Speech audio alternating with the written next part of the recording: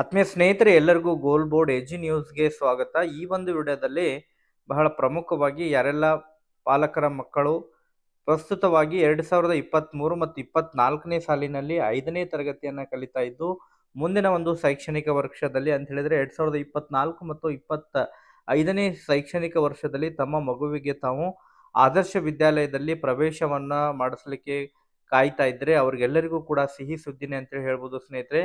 ಈಗಾಗಲೇ ಇಲಾಖೆ ವತಿಯಿಂದ ಆದರ್ಶ ವಿದ್ಯಾಲಯ ಎಂಟ್ರೆನ್ಸ್ ಎಕ್ಸಾಮ್ಗೆ ಸಂಬಂಧಪಟ್ಟಂತೆ ಆನ್ಲೈನ್ ಮೂಲಕ ಅರ್ಜಿಗಳನ್ನು ಈಗಾಗಲೇ ಕರೆಯಲಾಗಿದೆ. ಸೊ ಆನ್ಲೈನ್ ಮೂಲಕ ಅರ್ಜಿಗಳನ್ನು ಸೊ ಯಾವಾಗಿನಿಂದ ತಾವು ಆನ್ಲೈನ್ ಮೂಲಕ ಅರ್ಜಿಯನ್ನು ಸಲ್ಲಿಸಬಹುದು ಮತ್ತು ಪ್ರ, ಪರೀಕ್ಷೆಯ ದಿನಾಂಕದ ಬಗ್ಗೆ ತಮಗೆ ಮಾಹಿತಿ ಮತ್ತು ಯಾರೆಲ್ಲ ಈ ಒಂದು ಪರೀಕ್ಷೆಯನ್ನು ಕಟ್ಬೋದು, ಯಾರೆಲ್ಲ ಅಪ್ಲಿಕೇಶನ್ ಅನ್ನ ಹಾಕ್ಬೋದು ಅಪ್ಲಿಕೇಶನ್ ಅನ್ನ ಹಾಕಲಿಕ್ಕೆ ಬೇಕಾಗುವಂತಹ ದಾಖಲೆಗಳೇನು ಸೆಲೆಕ್ಷನ್ ಪ್ರೊಸೀಜರ್ ಏನಿರುತ್ತೆ ಮತ್ತು ಎಕ್ಸಾಮ್ನಲ್ಲಿ ಯಾವ ರೀತಿ ಪ್ಯಾಟರ್ನ್ ಇರುತ್ತೆ ಎಕ್ಸಾಮ್ ಕ್ವಶನ್ ಪೇಪರ್ ಪ್ಯಾಟರ್ನ್ ಏನಿರುತ್ತೆ ಸೊ ಆ ಎಲ್ಲ ಮಾಹಿತಿಯನ್ನು ತಮಗೆ ಈ ಒಂದು ವಿಡಿಯೋದಲ್ಲಿ ಇನ್ಫಾರ್ಮೇಷನ್ ಅನ್ನ ಪ್ರೊವೈಡ್ ಮಾಡ್ಕೊಡ್ತೀನಿ ಸ್ನೇಹಿತರೆ. ವಿಡಿಯೋ ಕೂಡ ತಮಗೆ ಸಹಾಯ ಆಗಲಿದೆ, ಆ ಒಂದು ಕಾರಣಕ್ಕಾಗಿ ಪ್ರತಿಯೊಬ್ಬರು ಕೂಡ ತಾವು ವಿಡಿಯೋನ ಲೈಕ್ ಮಾಡಿ, ಸಂಪೂರ್ಣವಾಗಿ ವೀಕ್ಷಣೆ ಮಾಡಿ, ಅದ್ರ ಜೊತೆಗೆ ಯಾರೆಲ್ಲ ಸ್ನೇಹಿತರು ಇನ್ನೂ ಕೂಡ ನಮ್ಮ ಒಂದು ಚಾನೆಲನ್ನು ತಾವು ಸಬ್ಸ್ಕ್ರೈಬ್ ಆಗಿಲ್ಲ ಅಂತ ಹೇಳಿದ್ರೆ, ದಯವಿಟ್ಟು ಚಾನೆಲನ್ನು ಸಬ್ಸ್ಕ್ರೈಬ್ ಆಗಿ ನೋಟಿಫಿಕೇಶನ್ ಆನ್ ಮಾಡಿಕೊಂಡ್ರೆ ಇದರಿಂದ ನಿಮ್ಗೆ ನಾವು ಹೋಗ್ತಾ ಇರುವಂತಹ ಪ್ರತಿಯೊಂದು ವಿಡಿಯೋಗಳ ಅಪ್ಡೇಟ್ಗಳು ಕೂಡ ತಮಗೆ ದೊರಕ್ತಾ ಇರ್ತವೆ. ಹಾಗಾದ್ರೆ ಬನ್ನಿ ಸ್ನೇಹಿತರೆ, ಇವತ್ತಿನ ಈ ಒಂದು ವಿಡಿಯೋನ ಪ್ರಾರಂಭಿಸೋಣ. ಸ್ನೇಹಿತರೆ, ಈಗ ಮೊದಲನೇದಾಗಿ ಎರಡ್ ಸಾವಿರದ ಇಪ್ಪತ್ನಾಲ್ಕು ಮತ್ತು ಇಪ್ಪತ್ತೈದನೇ ಸಾಲಿನ ಪ್ರವೇಶ ಪರೀಕ್ಷೆಗೆ ಸಂಬಂಧಪಟ್ಟಂತೆ ಕರ್ನಾಟಕ ಆದರ್ಶ ವಿದ್ಯಾಲಯಕ್ಕೆ ಸಂಬಂಧಪಟ್ಟಂತಹ ಆರನೇ ತರಗತಿಗೆ ಪ್ರವೇಶವನ್ನು ಪಡೆಯಲಿಕ್ಕೆ ಆನ್ಲೈನ್ ಮೂಲಕ ಅರ್ಜಿಗಳನ್ನು ಕೂಡ ಕರೆಯಲಾಗಿದೆ. ರಾಜ್ಯದಲ್ಲಿರುವಂತಹ ಸುಮಾರು ಎಪ್ಪತ್ನಾಲ್ಕು ಆದರ್ಶ ವಿದ್ಯಾಲಯಗಳೇನಿದಾವೆ, ಈ ಒಂದು ಆದರ್ಶ ವಿದ್ಯಾಲಯಗಳಲ್ಲಿ ಆರನೇ ತರಗತಿಗೆ ತಾವು ಪ್ರವೇಶ ಪರೀಕ್ಷೆ ಪ್ರವೇಶವನ್ನು ಪಡಿಬೇಕಂತ ಹೇಳಿದ್ರೆ ಪ್ರವೇಶ ಪರೀಕ್ಷೆಯನ್ನು ಕಡ್ಡಾಯವಾಗಿ ಬರೀಬೇಕಾಗುತ್ತೆ.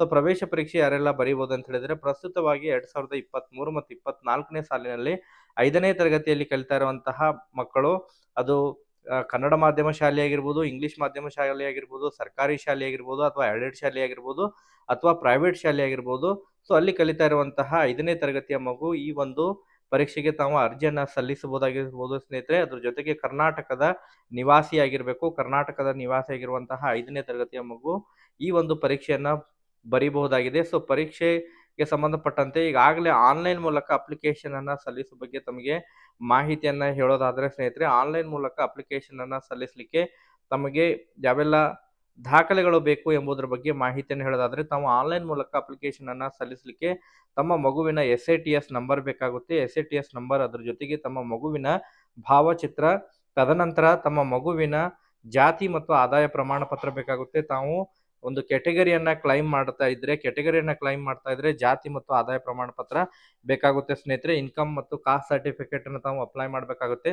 ಸೊ ತಾವು ಯಾವುದೇ ರೀತಿಯಾದಂತಹ ರಿಸರ್ವೇಶನ್ ಅನ್ನ ಕ್ಲೈಮ್ ಮಾಡ್ತಾ ಇಲ್ಲ ಅಂತ ಹೇಳಿದ್ರೆ ಜನರಲ್ ಕೆಟಗರಿಯಲ್ಲಿ ತಾವು ಪರೀಕ್ಷೆಯನ್ನ ಬರಿತಾ ಇದ್ರೆ, ತಾವು ಕೇವಲ ತಮ್ಮ ಒಂದು S A T S number ಮೂಲಕ, ತಾವು ಆನ್ಲೈನ್ ಮೂಲಕ ಅಪ್ಲಿಕೇಶನ್ ಅನ್ನ ಹಾಕ್ಬೋದಾಗಿದೆ ಸ್ನೇಹಿತರೆ. ಓಕೆ ಆನ್ಲೈನ್ ಮೂಲಕ ಅಪ್ಲಿಕೇಶನ್ ಅನ್ನ ಹಾಕ್ಬೇಕಂತ ಹೇಳಿದ್ರೆ, ನಮ್ಮ ಒಂದು ಈ ಒಂದು ವೆಬ್ಸೈಟ್ ಇದೆ. ಸೊ ತಾವಿಲ್ಲಿ ನೋಡ್ತಾ ಇರುವ ಹಾಗೆ goal board academy dot com ಇದೆ. ಸೊ ಈ ಒಂದು ವೆಬ್ಸೈಟ್ನಲ್ಲಿ ತಾವು ಬಂದಾಗ ಇಲ್ಲಿ ಕೆಳಗಡೆ ಸ್ಕ್ರೋಲ್ ಮಾಡಿ so how to apply Karnataka Adarsha Vidyalaya online application ಅಂತ ಹೇಳಿದೆ ಸೊ ಇದರಲ್ಲಿ school education dot Karnataka dot N I C website ಇದೆ. ಸೊ ಆ ವೆಬ್ಸೈಟ್ ಲಿಂಕ್ ಅನ್ನು ಕೂಡ ಇಲ್ಲಿ ಕೊಟ್ಟಿರ್ತೇನೆ ನಾನು. ಈ ಒಂದು ವೆಬ್ಸೈಟ್ ಲಿಂಕ್ ಮೇಲೆ ತಾವು ಕ್ಲಿಕ್ ಮಾಡಿದ್ರೆ ಸೊ ಆನ್ಲೈನ್ ಮೂಲಕ ಅಪ್ಲಿಕೇಶನ್ ಅನ್ನ ಹಾಕ್ಬೋದಾಗಿದೆ ಸ್ನೇಹಿತರೆ. ಸೊ ಆನ್ಲೈನ್ ಮೂಲಕ ಅಪ್ಲಿಕೇಶನ್ ಹಾಕಲಿಕ್ಕೆ ಹಾಕ್ಲಿಕ್ಕೆ ಸ್ಟಾರ್ಟ್ ಆಗುವಂಥ ದಿನಾಂಕದ ಬಗ್ಗೆ ತಮಗೆ ಮಾಹಿತಿಯನ್ನು ಹೇಳೋದಾದ್ರೆ, ಹದಿನೇಳು ಒಂದು ಎರಡು ಸಾವಿರದ ಇಪ್ಪತ್ನಾಲ್ಕರಿಂದ ಆರು ಎರಡು ಎರಡು ಸಾವಿರದ ಇಪ್ಪತ್ನಾಲ್ಕರವರೆಗೆ ತಾವು ಆನ್ಲೈನ್ ಮೂಲಕ ಅರ್ಜಿಯನ್ನು ಸಲ್ಲಿಸಬಹುದಾಗಿದೆ ಸ್ನೇಹಿತರೆ. ಓಕೆ ದಿನಾಂಕ ಅಂತ ಹೇಳಿದ್ರೆ ಜನವರಿ ಹದಿನೇಳನೇ ತಾರೀಕಿನಿಂದ ಆನ್ಲೈನ್ ಮೂಲಕ ಅಪ್ಲಿಕೇಶನ್ ಅನ್ನ ಹಾಕಲಿಕ್ಕೆ ಅವಕಾಶ ಇದೆ. ಕೊನೆಯ ದಿನಾಂಕದ ಬಗ್ಗೆ ಮಾಹಿತಿಯನ್ನು ಹೇಳೋದಾದ್ರೆ ಆರು ಎರಡು ಎರಡ್ ಸಾವಿರದ ಇಪ್ಪತ್ನಾಲ್ಕರವರೆಗೆ ಕೊನೆಯ ದಿನಾಂಕ ಇದೆ. ನೆಕ್ಸ್ಟ್ ಪರೀಕ್ಷೆ ಯಾವಾಗ ಇದೆ ಎಂಬುದರ ಬಗ್ಗೆ ಮಾಹಿತಿಯನ್ನು ಹೇಳೋದಾದ್ರೆ ಸೊ ಮಾರ್ಚ್ ಮೂರು ಎರಡ್ ಸಾವಿರದ ಇಪ್ಪತ್ನಾಲ್ಕರಂದು ಬೆಳಗ್ಗೆ ಹತ್ತುವರೆಯಿಂದ ಒಂದು ಗಂಟೆವರೆಗೆ ಪರೀಕ್ಷೆ ನಡೆಯಲಿದೆ. ಸೊ ಆನ್ಲೈನ್ ಮೂಲಕ ತಾವು ಅಪ್ಲಿಕೇಶನ್ ಅನ್ನ ಹಾಕಿರುವಂತಹ ಸಂದರ್ಭದಲ್ಲಿ ಹಾಲ್ ಟಿಕೆಟ್ ಅನ್ನ ಅಥವಾ ಪ್ರವೇಶ ಪತ್ರವನ್ನು ತಾವು ಡೌನ್ಲೋಡ್ ಮಾಡ್ಕೋಬೇಕಂತ ಹೇಳಿದ್ರೆ ದಿನಾಂಕ ಹತ್ತೊಂಬತ್ತು ಫೆಬ್ರವರಿ ಎರಡ್ ಸಾವಿರದ ಇಪ್ಪತ್ತ್ ಮೂರರ ಇಪ್ಪತ್ತ್ ಮೂರರಿಂದ ತಮಗೆ ಅವಕಾಶ ಇರುತ್ತೆ. ತಾವು ಹಾಲ್ ಟಿಕೆಟ್ ಅನ್ನ ಪ್ರವೇಶ ಪತ್ರವನ್ನು ಡೌನ್ಲೋಡ್ ಮಾಡ್ಕೋಬೋದಾಗಿದೆ ಸ್ನೇಹಿತರೆ. ಸೊ ಈ ಒಂದು ಡೈರೆಕ್ಟ್ ಲಿಂಕ್ ಅನ್ನು ಕೂಡ ನಾನು ಇಲ್ಲಿ ಕೊಟ್ಟಿರ್ತೇನೆ. ನಾವು, ತಾವು ನೋಡ್ತಾ ಇರುವ ಆನ್ಲೈನ್ ಅಪ್ಲಿಕೇಶನ್ ಸ್ಟಾರ್ಟ್ ಲಿಂಕ್ ಇದೆ. ವೆಬ್ಸೈಟ್ ಲಿಂಕ್ ಅನ್ನು ಕೊಟ್ಟಿರ್ತೇನೆ. ಸೊ ಈ ಒಂದು ವೆಬ್ಸೈಟ್ ಲಿಂಕ್ ಅನ್ನು ಕೊಟ್ಟಿದ್ದಾರೆ ಸೊ ಇದ್ರ ಮೇಲೆ ಕ್ಲಿಕ್ ಮಾಡಿದ್ರೆ ಈ ಒಂದು ವೆಬ್ಸೈಟಿಗೆ ತಾವು ವಿಸಿಟ್ ಮಾಡ್ತೀರಿ. ಸೊ ಇದು ಅಫಿಷಿಯಲ್ ವೆಬ್ಸೈಟ್ ಇದೆ. ಆದರ್ಶ ವಿದ್ಯಾಲಯ, ಮಾದರಿ ಶಾಲೆ, ಕರ್ನಾಟಕ. ಈ ಒಂದು ಅಫಿಷಿಯಲ್ ವೆಬ್ಸೈಟ್ನಲ್ಲಿ ವಿಸಿಟ್ ಕೊಟ್ಟು ತಾವು ಆನ್ಲೈನ್ ಮೂಲಕ ಅಪ್ಲಿಕೇಶನ್ ಅನ್ನ ಹಾಕ್ಬೋದಾಗಿದೆ ಸ್ನೇಹಿತರೆ. ಸೊ ಆನ್ಲೈನ್ ಮೂಲಕ ಅಪ್ಲಿಕೇಶನ್ ಹಾಕಿದಂತಹ ನಂತರ ತಮಗೆ ಪ್ರವೇಶ ಪರೀಕ್ಷೆಯನ್ನು ಬರೀಬೇಕಂತ ಹೇಳಿದರೆ, ಪ್ರವೇಶ ಪತ್ ಪರಿ, ಪರೀಕ್ಷೆಯನ್ನು ಬರೀಬೇಕಂತ ಹೇಳಿದರೆ ಮೊದಲನೇದಾಗಿ ತಮ್ಮ ಒಂದು ಮಗು ನಾಲ್ಕು, ಮೂರು, ನಾಲ್ಕು ಮತ್ತು ಐದನೇ ತರಗತಿಯ ವ್ಯಾಸಂಗವನ್ನು ಪ್ರಶ್ನೆಗಳನ್ನು ಓದಬೇಕು. ಮೂರು, ನಾಲ್ಕು ಮತ್ತು ಐದನೇ ತರಗತಿಯ ಪಾಠಗಳನ್ನು ತಾವು ಮಗು ಓದಿದರೆ ಅದೇ ಪಾಠಗಳಲ್ಲಿ ಪ್ರಶ್ನೆಗಳನ್ನು ಕೇಳ್ತಾರೆ ಸ್ನೇಹಿತರೆ. ಓಕೆ ಸೊ ಅದಕ್ಕೆ ಸಂಬಂಧಪಟ್ಟಂತೆ ಮತ್ತೊಂದು ವಿಡಿಯೋ ಮಾಡಿ ಕೂಡ ಮಾಹಿತಿಯನ್ನು ತಿಳಿಸುವಂತ ಪ್ರಯತ್ನ ಕೂಡ ಮಾಡ್ತಾ ಇರ್ತೀನಿ. ಸೊ ಅದ್ರ ಜೊತೆಗೆ ಮಾದರಿ ಪ್ರಶ್ನೆ ಪತ್ರಿಕೆಯನ್ನು ಕೂಡ ಈ ಒಂದು ವೆಬ್ಸೈಟ್ನಲ್ಲೂ ಕೂಡ ಹಾಕಿರ್ತೀವಿ. ಸೊ ತಾವಿಲ್ಲಿ ನೋಡ್ತಾ ಇರುವ ಹಾಗೆ question paper model one question paper model two question paper model three so ಮುಂದಿನ ದಿನಗಳಲ್ಲಿ ಈ ಒಂದು ಮಾಡಲ್ ಕ್ವಶನ್ ಪೇಪರ್ಗಳನ್ನು ಕೂಡ ಇಲ್ಲಿ ಅಪ್ಡೇಟ್ ಮಾಡಿರ್ತೀವಿ. ಅಲ್ಲಿಂದ ತಾವು ಡೌನ್ಲೋಡ್ ಮಾಡ್ಕೋಬೋದಾಗಿದೆ ಸ್ನೇಹಿತರೆ. ಸೊ ಈ ಒಂದು ವೆಬ್ಸೈಟ್ ಲಿಂಕನ್ನು ಕೂಡ ಈ ಒಂದು ವಿಡಿಯೋದ ಡಿಸ್ಕ್ರಿಪ್ಷನ್ ಬಾಕ್ಸು ಅದ್ರ ಜೊತೆಗೆ ಕಮೆಂಟ್ ಬಾಕ್ಸ್ನಲ್ಲೂ ಕೂಡ ಪಿನ್ ಮಾಡಿರ್ತೀನಿ. ಅಲ್ಲಿಂದ ಹೋಗಿ ತಾವು ಈ ಒಂದು ವೆಬ್ಸೈಟ್ಗೆ ವಿಸಿಟ್ ಮಾಡಿ ಹೆಚ್ಚಿನ ಮಾಹಿತಿಯನ್ನು ಕೂಡ ಪಡ್ಕೋಬೋದಾಗಿದೆ ಸ್ನೇಹಿತರೆ. ಅದ್ರ ಜೊತೆಗೆ ಸೆಲೆಕ್ಷನ್ ಪ್ರೊಸೆಸ್ ಬಗ್ಗೆ ಮಾಹಿತಿಯನ್ನು ಹೇಳೋದಾದರೆ ರಿಟರ್ನ್ ಟೆಸ್ಟ್ ಇರುತ್ತೆ. ಅದಾದ ನಂತರ ಮತ್ತೆ ರಿಸಲ್ಟನ್ನು ಬಿಡ್ತಾರೆ. ರಿಸಲ್ಟನ್ನು ಬಿಟ್ಟು ಮೆರಿಟ್ ಲಿಸ್ಟನ್ನು ಬಿಡ್ತಾರೆ. ಮೆರಿಟ್ ಲಿಸ್ಟನ್ನು ಬಿಟ್ಟು ಫಸ್ಟ್ ರೌಂಡ್ ಮೆರಿಟ್ ಲಿಸ್ಟ್ ಇರುತ್ತೆ.